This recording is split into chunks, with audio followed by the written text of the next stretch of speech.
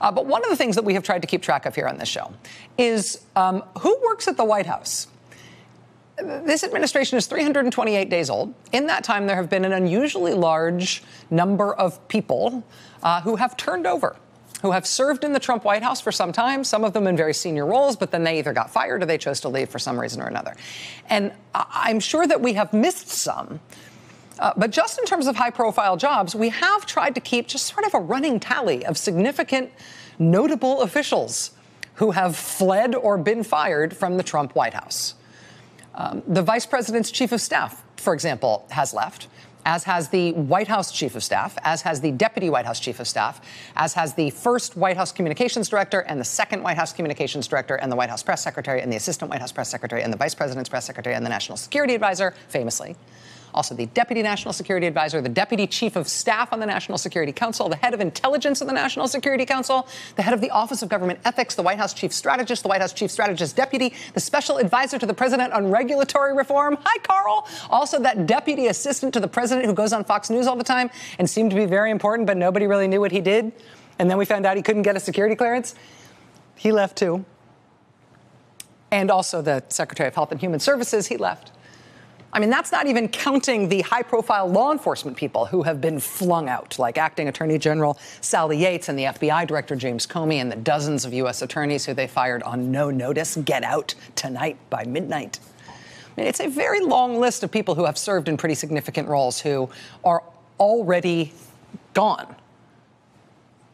Well, this week we got two more names to add to that list uh, one of whom got a lot of media attention for her departure. Her name is Omarosa Manigault Newman. Um, her title, I looked it up, was that she was the communications director for the Office of Public Liaison. Which actually reminds me, the director of the Office of Public Liaison, that's another person who that's another person who left. Can we add that guy to the list too? Yes, thank you. Uh, his name is George Sifakis, I'm told. Anyway, uh, Mrs. Uh, Newman, she was the communications director for the Office of Public Liaison, which is not a high profile office, let alone is that a high profile job in that office. Uh, the beef with her among White House reporters is that nobody was ever quite sure exactly what she did at all. But she is personally a high profile person because of her reality show career. So her departure this week has, has uh, attracted a lot of attention. But there's been one other departure from the White House this week that has attracted comparatively very little attention. But it's for somebody with a much bigger job. Her name is Dina Powell. Uh, immediately before her appointment to the White House, she was working at Goldman Sachs. Gary Cohn, the president's chief economic advisor, was previously the president of Goldman Sachs. So when Dina, Dina Powell came on board, it was thought that maybe she'd be in, in Gary Cohn's orbit. But where she actually ended up was at the National Security Council. She was named the Deputy National Security Advisor for Strategy.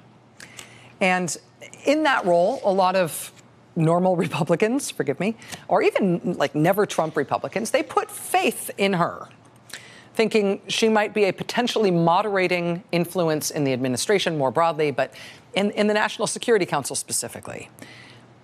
And the National Security Council and national security policy making in this administration, it has been of particular concern. Remember that the National Security Council initially was set up by Mike Flynn.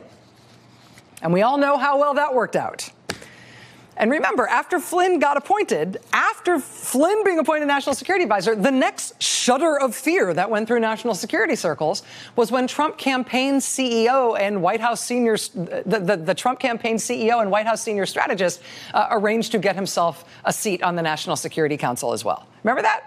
People were like, really? Steve Bannon has a permanent seat on the National Security Council?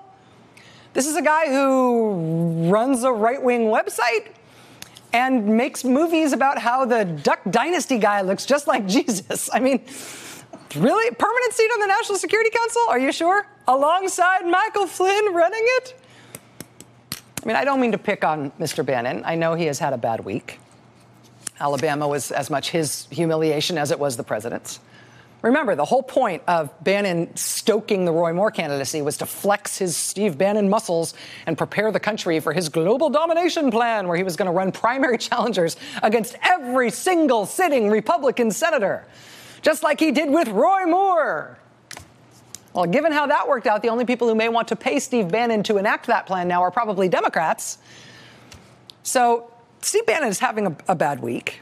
You know, and everybody thought he might be this fearsome specter in Trump era politics in some kind of continuing way.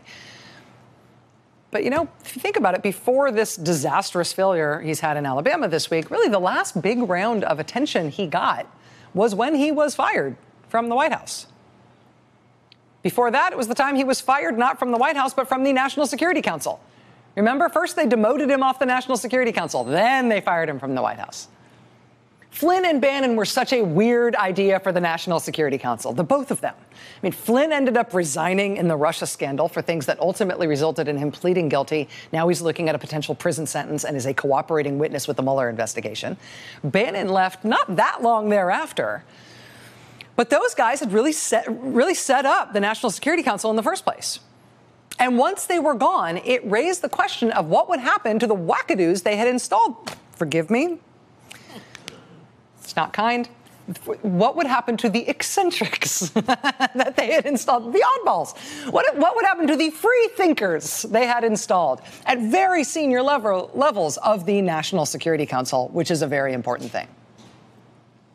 And in particular, when it came to Dina Powell, there was a lot of speculation that on the National Security Council, she might replace this guy.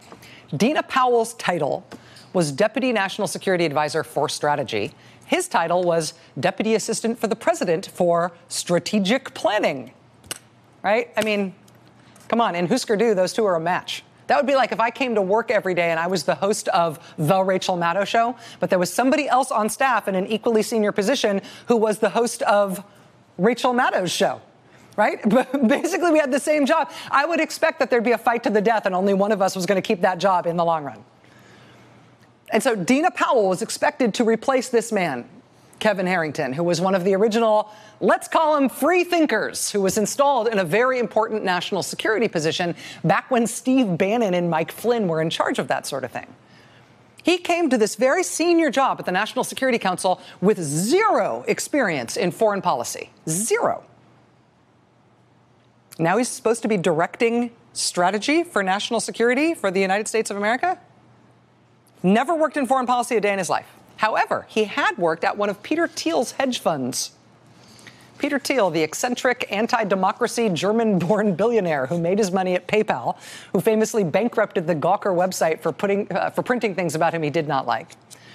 This guy in this senior job at the National Security Council, his work experience for running strategy at the National Security Council was that he had worked at a Peter Thiel hedge fund. And before that, he had worked at a different Peter Thiel hedge fund. Well, this week we learned that not only did Dina Powell not end up replacing him, she is now leaving the administration. And he is still at the National Security Council. And we know that in part because the Washington Post reports today in this remarkable, epic 50 source story that he, Kevin Harrington, is one of the pro Russia officials remaining in the White House who actually supports President Trump's compulsive submissiveness toward Russia and toward Putin in particular. Uh, for Kevin Harrington, though, his motivation for his pro Russia positions um, is reportedly a little. It's free thinking? Is that the word we're using? Idiosyncratic. Let's call it that. Quote. Kevin Harrington, a former associate of Silicon Valley billionaire Peter Thiel, brought in to shape national security strategy saw close ties with oil and gas rich Russia as critical to surviving an energy apocalypse. A fate that officials who worked with him said he discussed frequently and that he depicted as inevitable. I can't believe this guy is still there. I remember being amazed at some of the Peter Thiel people who were being considered for high level Trump administration jobs at the beginning. Remember, they were reportedly going to put a guy in charge of the FDA who came from Peter Thiel land? And the reason he wanted the job running the FDA is because he believed that we could all become immortal. or at least some of us could. And he was working on that. So that's why he wanted to run the FDA, right? This guy at the National Security Council is from the same crisper drawer in the same fridge and he is still there. And Dina Powell is leaving. As Dina Powell leaves, the person left running strategy at the National Security Council is somebody who believes that the end is nigh and only Putin can save us.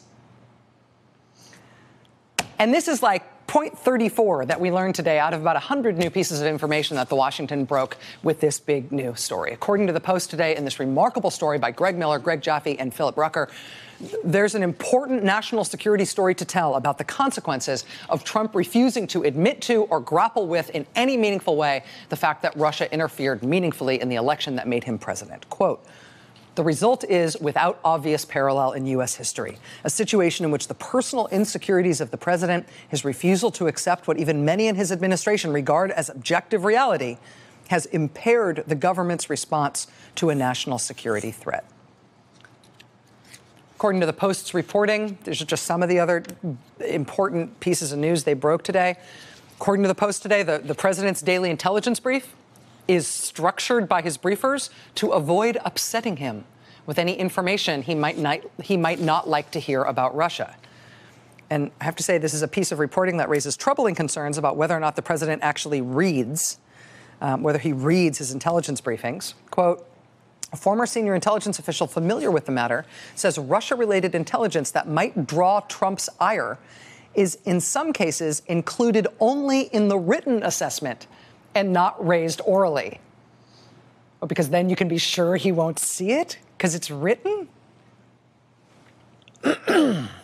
The Post also, in this new piece today, describes an extraordinary, uh, what they call an extraordinary CIA stream of intelligence that had captured Putin's specific instructions on the operation to attack our election last year.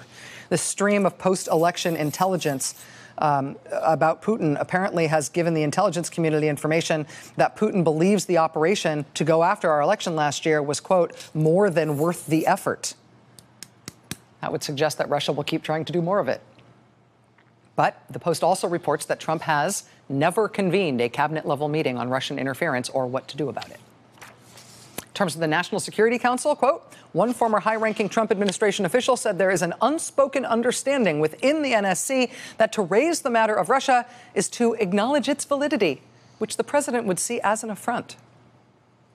After the new national security advisor, H.R. McMaster, brought in a legit Russia expert to helm that part of the National Security Council, Fiona Hill, Trump demeaned and insulted her in a way that is almost hard to believe, even for what we know about this president and his White House. Quote, in one of her first encounters with the president, an Oval Office meeting in preparation for a call with Putin on Syria, Trump appeared to mistake Fiona Hill for a member of the clerical staff, handing her a memo he had marked up and instructing her to rewrite it. When Hill responded with a perplexed look, Trump became irritated with what he interpreted as insubordination, according to officials who witnessed the exchange. As she walked away in confusion, Trump exploded and motioned for McMaster to intervene. McMaster then followed Fiona Hill out the door and scolded her. Fiona Hill is the Russia expert on the National Security Council, a legit Russia expert who was brought into the National Security Council post the Flynn and Bannon debacle just remarkable. We've got Greg Miller here to talk about some of this uh, remarkable reporting, including um, the damning and brand new revelation that even after the Trump administration got caught planning to unilaterally lift sanctions on Russia, and Congress got alerted to that fact and blocked them from doing it, even after those efforts were exposed by Congress and exposed in the press and became a subject of great scandal and great consternation in Washington, even after all that, the administration and specifically Secretary of State Rex Tillerson reportedly continued to offer the Russians in secret that the Trump administrations would help them out on sanctions. That they were happy to give them back some of what Obama had taken away in punishment for them hacking our election. Just remarkable, remarkable reporting today from the Washington Post. Greg Miller joins us next. Hey there, I'm Chris Hayes from MSNBC. Thanks for watching MSNBC on YouTube. If you want to keep up to date with the videos we're putting out, you can click subscribe just below me or click over on this list to see lots of other great videos.